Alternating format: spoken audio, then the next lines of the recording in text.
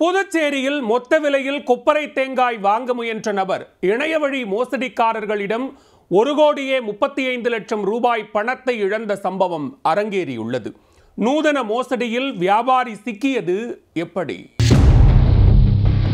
புதுச்சேரி ரெட்டியார் பாளையத்தில் வியாபாரி ஒருவர் கொப்பரை தேங்காய் மொத்த வியாபாரம் செய்து வருகிறார். தனி நிறுவனமாக தொடங்கி நடத்தி வரும் இவர் உள்நாடு மற்றும் வெளிநாடுகளுக்கு மொத்தமாக கொப்பரை தேங்காயை ஏற்றுமதி செய்து வருகிறார். இதற்காக தமிழகம் முழுவதும் இருந்து தேங்காய்களை மொத்தமாக கொள்முதல் செய்து வருகிறார். இந்நிலையில் துபாயில் உள்ள ஒரு நிறுவனத்திற்கு பல கோடி ரூபாய் மதிப்புடைய கொப்பரை தேங்காய்களை வாங்கி அனுப்ப அவருக்கு ஆர்டர் கிடைத்துள்ளது. மிகப்பெரிய ஆர்டர் என்பதால் கொப்பரை தேங்காய்களை மொத்தமாக கொள்முதல் செய்ய இணையத்தில் தேங்காய் வியாபாரம் செய்யும் நிறுவனங்களை தேடியுள்ளார் அப்பொழுது ஒரு நபரின் தொலைபேசி எண் கிடைத்துள்ளது. அந்த நபரை தொடர்பு கொண்டு பேசியபோது உங்களுக்கு எவ்வளவு கொப்பரை தேங்காய் வேண்டுமோ அதற்கு ஏற்ப முன்பணம் செலுத்த வேண்டும் என கூறியுள்ளார்.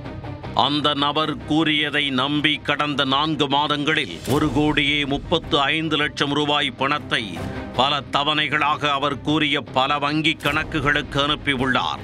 பிறகு ஒரு நாள் அந்த நபர் தனது அனைத்து தொடர்புகளையும் துண்டித்துக் கொண்டுள்ளார்.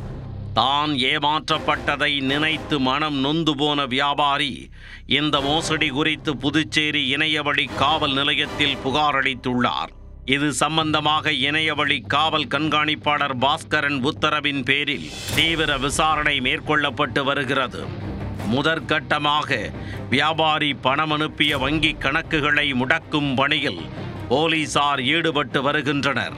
இதேபோல் கடந்த இருபத்தாறு நாட்களில் மட்டும் புதுச்சேரியைச் சேர்ந்த ஐநூற்று எண்பத்தி இரண்டு நபர்கள் இணையவழி மோசடியில் சிக்கி எட்டு கோடி ரூபாய்க்கு மேல் பணத்தை இழந்துள்ளனர். பொதுமக்கள் இணைய வழியில் பணத்தை செலுத்தும் பொழுது மிகுந்த எச்சரிக்கையாக இருக்கும்படி போலீசார் அறிவுறுத்துகின்றனர்.